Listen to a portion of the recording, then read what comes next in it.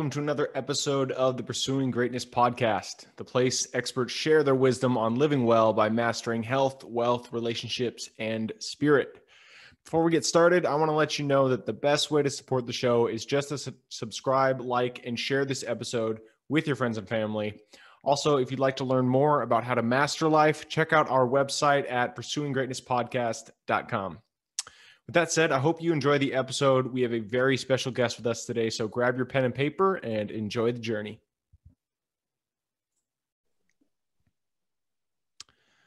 All right. Welcome back to another episode of the Pursuing Greatness podcast. Today we have with us Jose Lugo.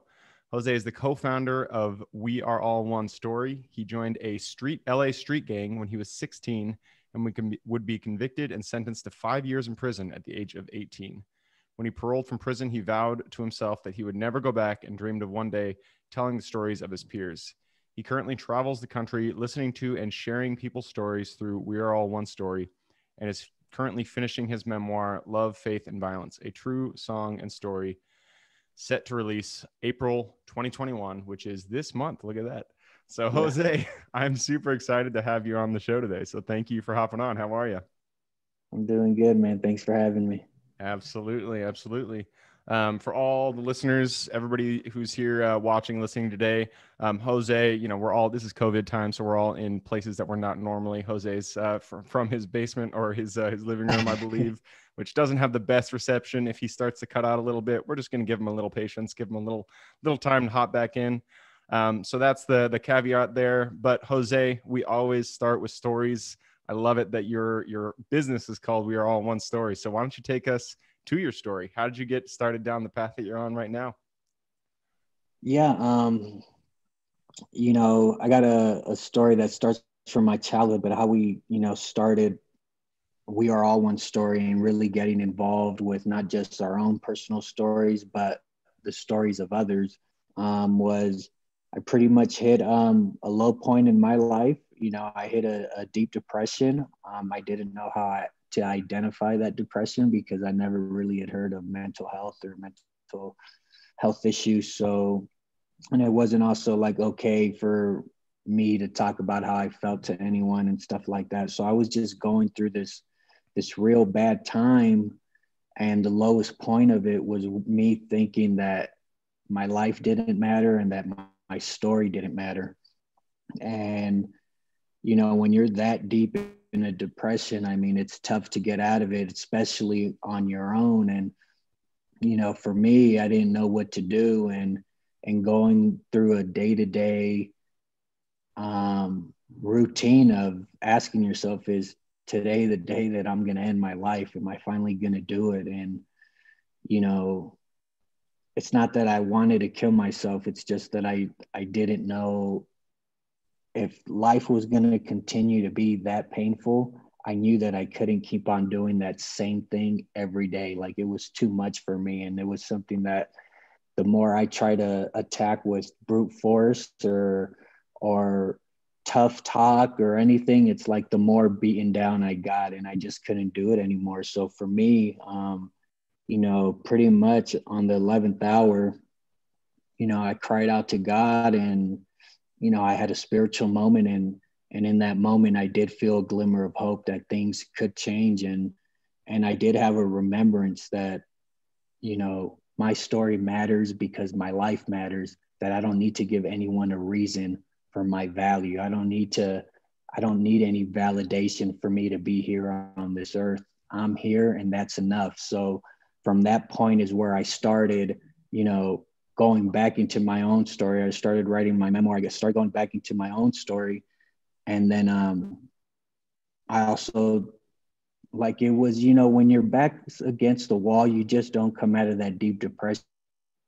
And it was also something to keep me going as well, personally. And, um, you know, I told my brother the idea, like, hey, this is where I'm at you know, this is how I'm feeling. He looked at me and he said, you know, I kind of feel the same way. Like he was going through his own depression and I didn't even know about it. And um, I then told him, like, hey, this is what I want to do with We Are All One Story. Like, we just go, anyone who wants to share their story, we'll get to them and we'll share their story. the only prerequisite it's, is that they talk honestly. That's it. You know, that you just talk honestly. Any nothing else matters. Not what you do, not your accomplishments. You're the gold. And um, you know, that's how we are all one story started. We feel that we don't just feel we know that us as people are the most important thing on this world. And it's easy to lose sight of that. And one of the ways I remind people is like, you know, when the Twin Towers went down, did we talk about the price of the building or did we talk about the people in the building? When a jet crashes, do we talk about, oh man, we just lost a jumbo jet or do we talk about the souls on the plane? And it's just so easy to forget that we are the most valuable thing on this earth. And to really realize that and actualize that within your own person, I think that starts within your own story. Man, I uh, I love that story, um, and I, I 100% agree. I think uh, I like that you use the the image of the twin towers, um, you know, their monetary value versus the actual souls that are in there, because that really does give color to um, to the fact that it is humans. I mean, we are the thing that matters. So, um, and it is really hard, especially when you're going through a mental health um, crisis or a mental health issue, uh, because there is so much stigma. And when you're in, you know, a, a dark place like that, you put more pressure on yourself, um, feeling that people are going to judge you uh, for coming, you know, for for talking about it and talking about your story, talking about what you're going through. Um, and it was amazing. You, you were saying that uh, you know your brother didn't even, or you didn't know that your brother was going through something like that. You know, the closest person to you. Um, so you know when you're going through a, a, mental health issue like that, a lot of times people outside of you don't see it.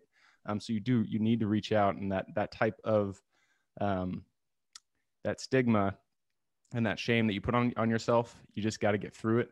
So I love I love that you shared that story. Um, I want to get a little bit more color onto the backstory of that. Um, you talked about the street gangs. Uh, so eight, at age of 18, you were sentenced to five years in prison.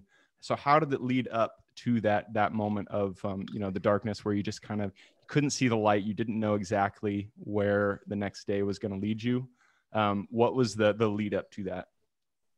Yes. So, I mean, the lead up it was the culmination of of just so many things. I mean, it started with my childhood. It started with, um, you know, my parents got divorced when I was five. After my dad left, um, he was, you know, an absent father, um, and my mom decided to be um, an extreme dis- uh, disciplinarian. She was physically abusive with her discipline, and um, you know she's raising six kids on her own but i remember the first time that you know my mom hit me and this isn't just like a regular type hitting um i remember just feeling hurt betrayed not understanding um and from that moment you know i began to rationalize and um justify wrong acts because the person i loved was doing them to me right? And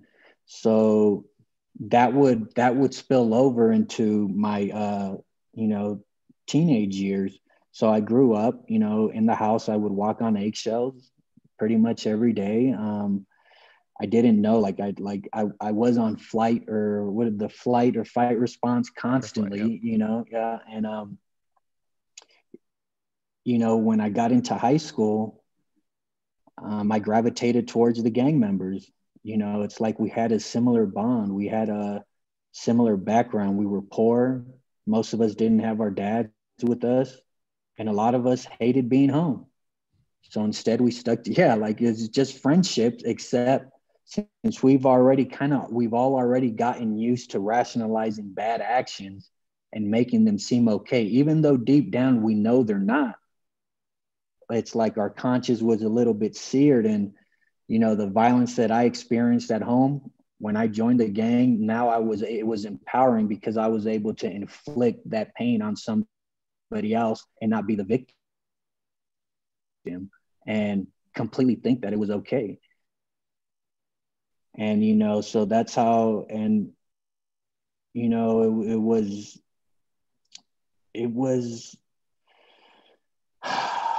when I was in it, I didn't know what was happening. Looking back, I can see that it's a trap, and I'm fortunate to have gotten out of that because I have a lot of homies who are still in that arena.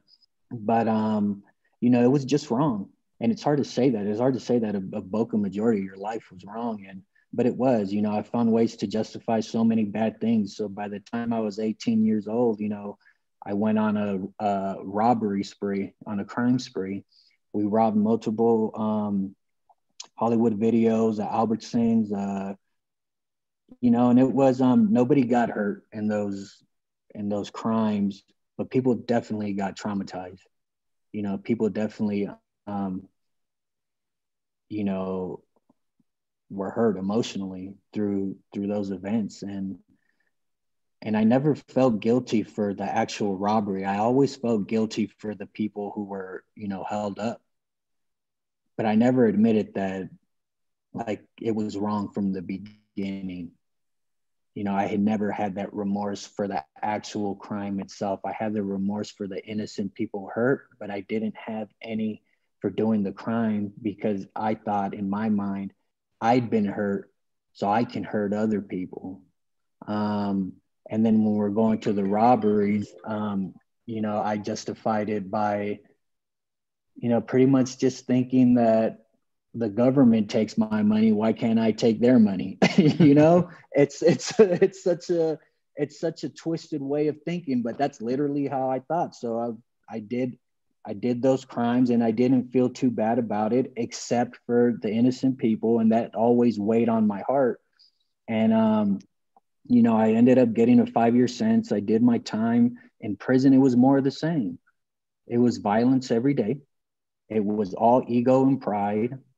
Um, and in prison i didn't really make a decision to change my life because i was so enthralled in the in the lifestyle and i also liked what it gave me which was it gave me a safety net for people to see this image than to see the little boy inside who's been hurt since i was a kid just never was able to talk about literally just telling someone like hey this really hurt me so instead i'd rather i'd rather you see I'd rather you be afraid of me than you love me, you know. Um, but in prison, I did, you know, I did, I did forgive my mom because I did hear other people's stories in prison, and I did gain perspective. You know, I had a lot of homies who told me, you know, they never knew their mom. Oh, their dad wasn't there and their mom wasn't there. You know, I had homies who've been in jail since they're 13 years old doing life in prison. They don't know anything else except except being institutionalized and and that opened my eyes and and to let me know that my mom did the best she could in her sphere. Like my mom's part part of her own issues and i'm sure she got better from how her parents treated her because from my understanding you know she was beat all the time in mexico. She immigrated from mexico and you know it's a cycle and it's on us to end it. But you know i certainly just just gained more compassion for her and i definitely forgave her and that gave room in my heart for me to then go on a journey of forgiveness. I forgave my dad for not being there but the hardest part was forgiving myself. But i couldn't forgive myself until i really opened up that space and forgave my mom and my dad first because i blamed them for everything. And um, now there was only one person left to blame, and it was me. And that's a tough realization that, man, all the problems I've had in my life to really take ownership for it, that the decisions that I made as a kid, I know people give me excuses all the time, like, oh, you were a kid, you did you did these robberies. I said, I mean, somewhere deep down, I made a decision at some point in my life saying that doing these bad things were okay. And I had to take ownership of that. And that's a hard thing to do. And that's that happened during the depression, during the crumbling down of my pride and my ego and and really just being weighed down as to where I had to face those issues and I had to look in the mirror and I had to admit that it was my fault that I made these decisions and you know where do I go from there you have to start over and you know that's what we're doing I love it, man. I love it. I mean, this is it's a really impactful story, and um, I mean, you can never obviously accept bad behavior like you know robbing a bank, but I really I'm I'm of the the mind that it is impossible to judge people because you don't know their backstory. You don't know something like you who had a mom um, who herself was probably abused when she was growing up. Um, and so it's just, it's something what, you know, as a kid, you probably didn't really have many options. You didn't have a dad there to, to show you boundaries um, and show you how to step up uh, without using violence or anything like that. And so it's impossible to judge a person um, regardless of the, their past mistakes. Um, and it's just to throw a little levity on the conversation. I know this is this is a, yeah, this is a very serious topic, Heavy. but it's interesting that you guys chose a Hollywood video to rob. Is I really do not see a Hollywood video as having any cash. oh yeah, man, I'm old. Yeah, I'm 33 years old. Yeah, those are relics. those are relics. Um, it was just uh, we were kids. I mean, we're just we're all we were also dumb kids who didn't know any better. Um, Hollywood video, you're right. It's ridiculous. You know, like let's get some money and get some DVDs. you know, I mean, we were still kids and and I think the Hollywood video, I mean, this is how dumb it is that maybe we got maybe at most in one Hollywood video three thousand dollars and you end up doing five, ten years, you know. Um, and it's you know, it's just when you're in it, you have no clue. Like you can't i couldn't process the risk reward or the or like hey if i do this is it worth it? And i just honestly i didn't care. I felt like you know when i was that young i was pretty much hopeless. I had no no vision and surely no path for my life. Yep. Yep. Absolutely. All right. Well um i mean there's so much to unpack from your story that you just said yeah. uh, unfortunately this is a smaller um, format and so we're, we're coming into to the 20 minute mark. I'd love to go deeper, um, but I want to just get out from you. What is the main message that you want to get across to um, anybody listening listening to this episode? Yeah, it's just real simple that your story matters because your life matters. We all kind of know that we have inherent value. You got to apply that same value to your own story and start looking at it as such. Perfect. I love it. Um, and before we go on to the quick question round, tell us a little bit about uh, about We Are All One Story and your memoir. What is the next uh, the next steps for that, and where can people go to get your book? Yeah, awesome. So um, we are all one story. Pretty much, we just go around and we listen to people's stories, and um, you know, we we we value their stories and we showcase them on our social media channels, and we just try and get people to see their inherent value as people, and thus the value in their own story. Um, as far as the book, it'll no, we just have a YouTube channel at We Are All One Story, Instagram at We Are All One Story, and then we have the small clips on TikTok as well at We Are All One Story. Okay. Um, um, our memoir, my memoir will be out on the 25th. You'll be able to get it on our website at weareallonestory.net. All right, perfect. Okay, so it's time for me to push us into the quick question round. Are you ready? Yeah. Perfect. Um, I always start with books. I'm a big bookie, so I like book recommendations. But if you have a podcast, a YouTube channel, a movie, anything, um, what is one recommendation you would give to someone um, for general life wisdom? General life wisdom? Oh, man. I read the book of Proverbs. I read the book of it. Proverbs. I love it. That's great.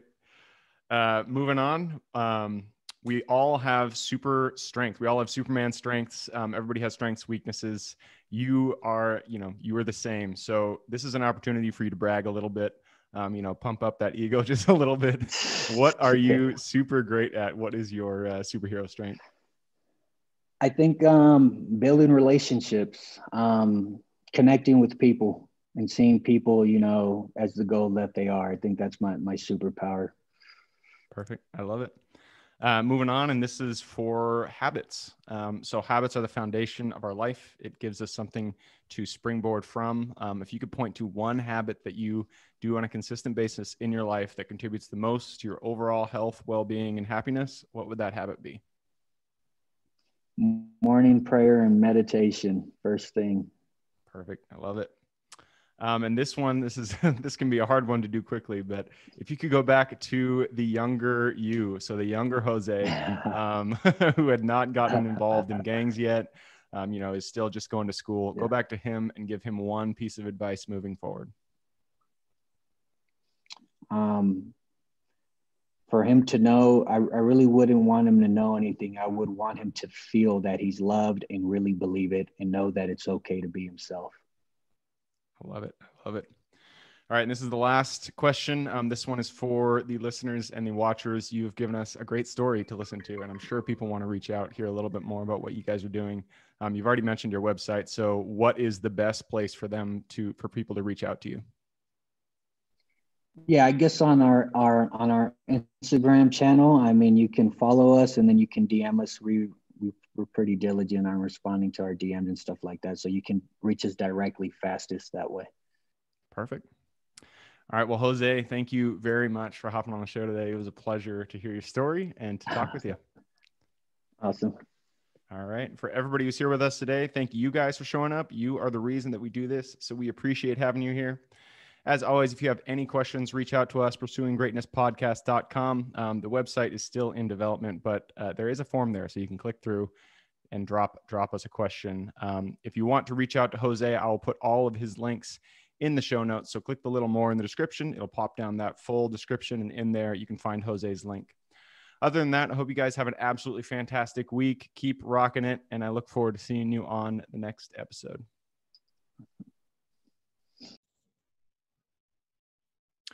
Thank you guys for sticking with us on another episode of the Pursuing Greatness podcast. I hope you got a lot of value out of that guest.